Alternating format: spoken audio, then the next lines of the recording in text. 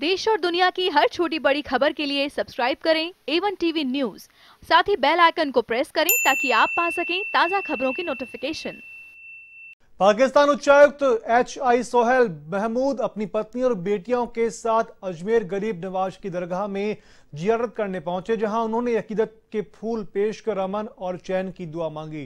इस दौरान दरगाह में कड़ी सुरक्षा व्यवस्था के इंतज़ाम किए गए। वहीं जियारत के बाद दरगाह कमेटी के पदाधिकारियों ने उनकी दस्तारबंदी की और तबर्रुख भेंट किया।